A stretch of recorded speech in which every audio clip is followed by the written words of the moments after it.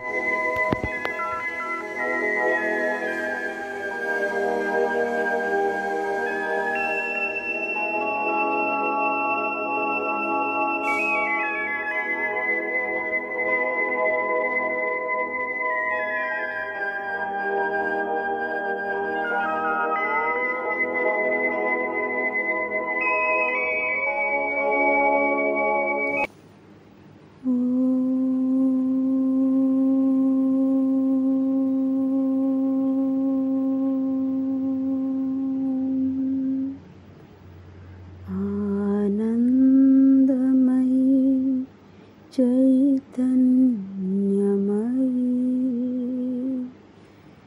सत्यमयी परमे। ओमानन्दमयी चैतन्यमयी सत्यमयी परमे। ध्यान प्रार्थना। କେତେ ବର୍ଷ ଧରି ତୀବ୍ର ଯୌଗିକ ସାଧନା ଅବସ୍ଥାରେ ଲିଖିତ ଦୈନନ୍ଦିନ ବିବରଣୀରୁ ଏହି ଗ୍ରନ୍ଥଟି ରଚିତ। ଏହା ମୁଖ୍ୟତଃ ତିନି ଶ୍ରେଣୀର ସାଧକଙ୍କୁ ଆଧ୍ୟାତ୍ମିକ ପଥ ନିର୍ଦ୍ଦେଶ କରିପାରେ। ପ୍ରଥମତଃ ଯେଉଁମାନେ ଆତ୍ମଜୟୀ ହେବାକୁ ସାଧନା କରନ୍ତି। ଦ୍ୱିତୀୟତଃ ଯେଉଁମାନେ ଭଗବତ ଅଭିମୁଖୀ ମାର୍ଗର ଅନ୍ୱେଷଣ କରିବାକୁ ଚାହାନ୍ତି ତୃତୀୟତଃ ଯେଉଁମାନେ ଭଗବତ କର୍ମରେ ନିଜକୁ କ୍ରମଶଃ ଉନ୍ନତର ଭାବେ ଉତ୍ସର୍ଗ କରିବାକୁ ଅଭିପ୍ସା କରନ୍ତି। ଶ୍ରୀମା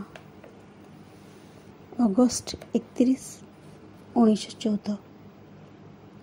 ଏହି ଭୀଷଣ ବିଶୃଙ୍ଖଳା ଏବଂ ପ୍ରଳୟଙ୍କର ଧ୍ୱଂସ ମଧ୍ୟରେ ଲକ୍ଷ୍ୟ କଲେ ଦେଖାଯାଏ ଏକ ବିପୁଳ ପ୍ରୟାସ। ଏହା ଏକ ଆବଶ୍ୟକ ପ୍ରୟାସ ଯାହା ପୃଥିବୀକୁ ନୂତନ ବୀଜ ରୋପଣ ନିମନ୍ତେ ପ୍ରସ୍ତୁତ କରିବ।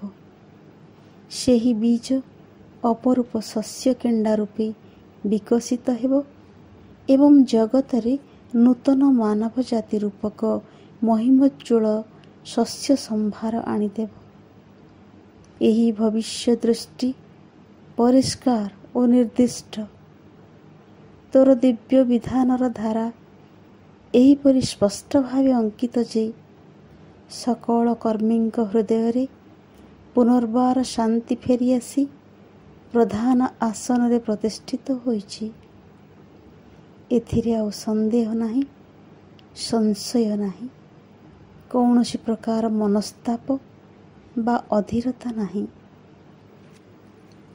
ଦେବକର୍ମ ଚିରଦିନ ସରଳ ପଥରେ ସକଳ ବାଧା ବିପତ୍ତି ଆପାତ ବିରୋଧ ଏବଂ କୁଟିଳ ପଥର ସକଳ ବିଭ୍ରାନ୍ତି ମଧ୍ୟ ଦେଇ ସଂସିତ ହୋଇ ଚାଲିଛି। ଏହିସବୁ ସ୍ଥୂଳ ବ୍ୟଷ୍ଟିସତ୍ତା ଅନନ୍ତ ସମ୍ଭୂତିର ଅନବଧାରଣୀୟ ମୁହୂର୍ତ୍ତ ସକଳ। ଜାଣନ୍ତି ଯେ ସେମାନେ ମାନବ ଜାତିକୁ ଏକ ପାହାଚ ଆଗେଇ ଦେଇଛନ୍ତି। ଅନିବାର୍ଯ୍ୟ ପରିଣାମ ସମ୍ବନ୍ଧରେ ଚିନ୍ତା ନ କରି ଏବଂ ଆପାତତଃ ଫଳ ସାମୟିକ ଭାବେ ଯାହା ହେଉନା କାହିଁକି ସେ ବିଷୟରେ ଚିନ୍ତା ନ କରି ହେ ଶାଶ୍ୱତ ଅଧୀଶ୍ୱର ସେମାନେ ତୋ ସଙ୍ଗେ ଯୁକ୍ତ ହୋଇଛନ୍ତି। ହେ ବିଶ୍ୱଜନନୀ ସେମାନେ ସମସ୍ତେ ତୋ ସଙ୍ଗେ ମଧ୍ୟ ଯୁକ୍ତ ହୋଇଛନ୍ତି।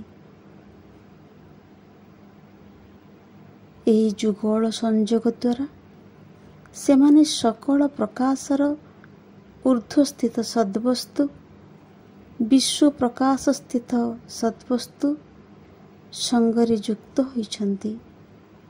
ଆଉ ସେମାନେ ଆସ୍ୱାଦନ କରିଛନ୍ତି ପରମ ନିଃସଂଶୟତାର ଆନନ୍ଦ ଶାନ୍ତି ଶାନ୍ତି ସମଗ୍ର ବିଶ୍ୱବ୍ରହ୍ମାଣ୍ଡରେ ଶାନ୍ତି ଯୁଦ୍ଧ ବାହ୍ୟ ରୂପ ମାତ୍ର ବିକ୍ଷୋଭ ଭ୍ରାନ୍ତି ମାତ୍ର ଶାନ୍ତି ବିଦ୍ୟମାନ ଅବ୍ୟୟ ଓ ଅକ୍ଷୟ ରୂପେ ହି ଜନନୀ ମୁଁ ତ ସେହି ମଧୁମୟୀ ଜନନୀ ତୁ ହିଁ ଯୁଗପଥ ସଂହାର କର୍ତ୍ତି ଓ ସୃଷ୍ଟି କର୍ତ୍ତି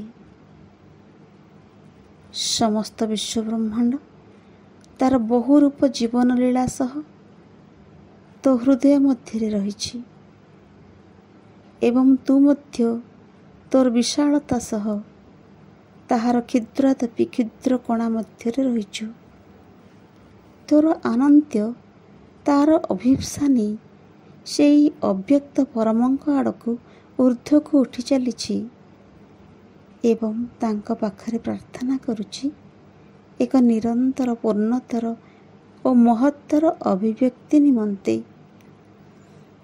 ସବୁକିଛି ସମକାଳରେ ତ୍ରିବିଧ ଓ ତ୍ରିକାଳଦର୍ଶୀ ଅଖଣ୍ଡ ଚେତନା ମଧ୍ୟରେ ଯୁଗପତ୍ ବ୍ୟକ୍ତିଗତ ସାର୍ବଭୌମ ଅନନ୍ତ ସବୁକିଛି ସମକାଳରେ ତ୍ରିବିଧ ଓ ତ୍ରିକାଳଦର୍ଶୀ ଅଖଣ୍ଡ ଚେତନା ମଧ୍ୟରେ ଯୁଗପତ୍ ବ୍ୟକ୍ତିଗତ ସାର୍ବଭୌମ ଅନନ୍ତ ମା